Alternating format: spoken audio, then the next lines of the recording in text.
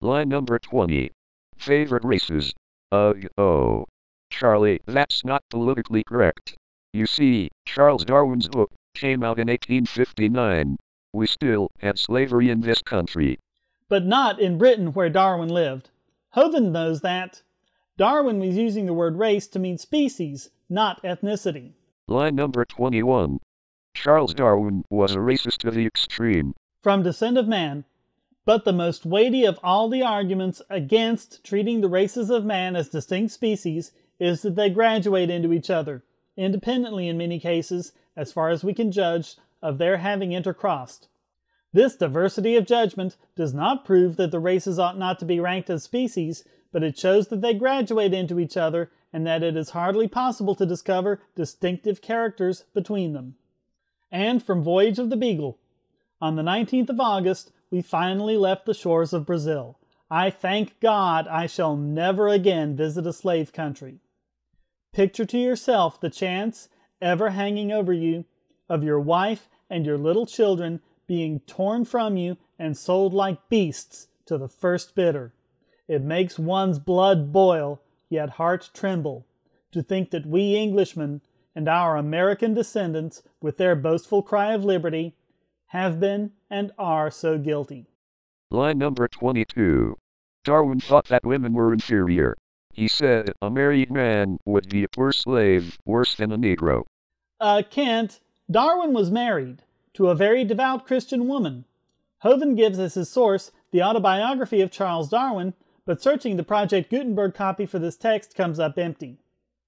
From Descent of Man With women, marriage at too early an age is highly injurious, for it has been found in France that twice as many wives under 20 die in the year as died out in the same number of the unmarried. The mortality also of husbands under 20 is excessively high, but what the cause of this may be seems doubtful. Lastly, if the men who prudently delay marrying until they can bring up their families in comfort were to select, as they often do, women in the prime of life, the rate of increase in the better class would only be slightly lessened. Line number 23. Evolution is a philosophy of life that says there is no God. We got here by blind chance. Wrong on two counts. Evolution does not preclude a creator, only certain accounts of how he might have gone about his work. It is also not blind chance, but on the application of physical laws. Line number 24. The philosophy of evolutionism is what drove Karl Marx. You see, we would not have communism today if it had not been for evolution succeeding in the mid 1800s. Uh, Kent, the Communist Manifesto was published in 1848, 11 years before Darwin published Origin of Species. Line number 25. You see, evolution teaches that only the strongest survive. No, it doesn't. In an environment where strength isn't an issue, the strong might very well die out to the faster, or the more nimble, or the smaller. It all depends on the environmental pressures. Line number 26. Evolution is largely responsible for what happened to the Indians. The Trail of Tears was in the 1830s, two decades before Origin was published. Line number 27. Hitler wrote the book Mein Kampf. You ought to read Mein Kampf and see how many times Hitler refers to racial crossing, superior races, or higher races. The major theme of the book is Germans are a superior race. If Kent isn't lying about having read Mein Kampf, then he's lying by omitting the fact that the book makes numerous references to God and how Hitler believed he was doing God's work by eliminating the Jews. Of course, if Hitler had really been a Darwinist, he would have done nothing at all, because he would have believed that natural selection would have taken care of the Jews without him doing a thing. Line number 28. The Great Pyramid is positioned perfectly north, south, east, and west. We have no idea how they built it. We could not build it today. The Great Pyramid is off by over 5 degrees. Any cursory study will show how it was built, and yes, we could build it much more efficiently today, although we wouldn't have any purpose at all for doing so. Line number 29. The Great Pyramid is a neat subject to study. If you go up to the king's chamber you will notice an empty tomb with a red granite coffin. The coffin has the exact dimensions of the Ark of the Covenant. Using the most generous length for a cubit, the ark was at most 53 inches on its longest side. That's less than four and a half feet. the sarcophagus in question is over six feet long. Line number 30. What about Pangea? Were the continents ever connected? School children are still being taught this theory. The only evidence to support this theory is that Africa and South America look as if they would fit together. Wrong. We can measure continental drift, see the evidence for thrust faulting in the past, observe the trenches in the Atlantic and Pacific Oceans, and see the correlations in the geography of separate continents that were once together, all of which act to confirm this. Line number 31. Camels have been found at the North Pole. How, Kent? There's no land at the North Pole! Line number 32.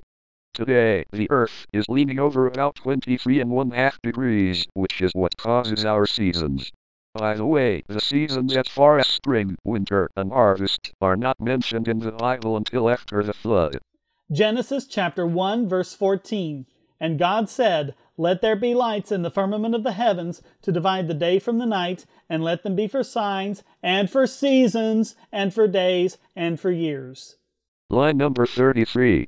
The textbooks state that it took billions of years to form the Grand Canyon. No, Kent, six million years. Line number 34. Carbon dating is based on the assumption that the amount of C14 in the atmosphere has remained constant through all time. Absolutely false. Science has a number of different techniques for determining the amount of C14 in the atmosphere over the past 45,000 years, the practical limit of carbon dating. Line number 35. Don't fall for the statement they proved it is so many millions of years old, based on carbon dating. Yes, don't fall for it, because only creationist liars like Kent Hovind make that statement. As I said, carbon dating only goes back about 45,000 years. Line number 36. How does one measure the distance to a star? The farthest that we can get away on Earth is 8,000 miles. Parallax measurements can be taken six months apart when Earth is opposite its orbit around the Sun, increasing that distance to 186 million miles. Line number 37. Even Charles Darwin said in his book right here on page 217, Charlie said, to suppose that the eye could have been formed by natural selection seems, I freely confess, absurd. Charlie very much was confused about the human eyeball because it is so complex. Blatant quote mining. Reading the rest of the chapter shows quite clearly that Darwin believed the eye evolved and posited a mechanism for it doing so, which has been shown to be quite accurate by modern findings. Line number 38. The Japanese trawler Zuiyo Maru caught a dead plesiosaur near New Zealand in 1977. Even other creationists acknowledge the finding of every scientist who observed the carcass, all of whom say it's a dead shark. Line number 39. 1963 is when prayer and Bible reading was taken out of the American school system. 1963 is when violent crimes began to increase. You know there has been almost a 1000% increase in violent crimes since 63. His chart only goes back to 1950 and doesn't show that in the 1930s crime was even larger. He also doesn't include the drop in crime rate starting around 1990. Line number 40. Look, fellow, if you believe in evolution, you got a much worse problem than I do. You have to get two cells to evolve out of the rocks in the same place of the opposite sex at the same time in history. Hovind knows perfectly well that cells do not come from rocks, since rocks do not contain organic chemicals. He also knows there was no sex, as bacteria do not reproduce sexually. Sexual reproduction took billions of years to evolve. If this conversation really did take place, as Hovind claims, the scientist would have laughed in his face.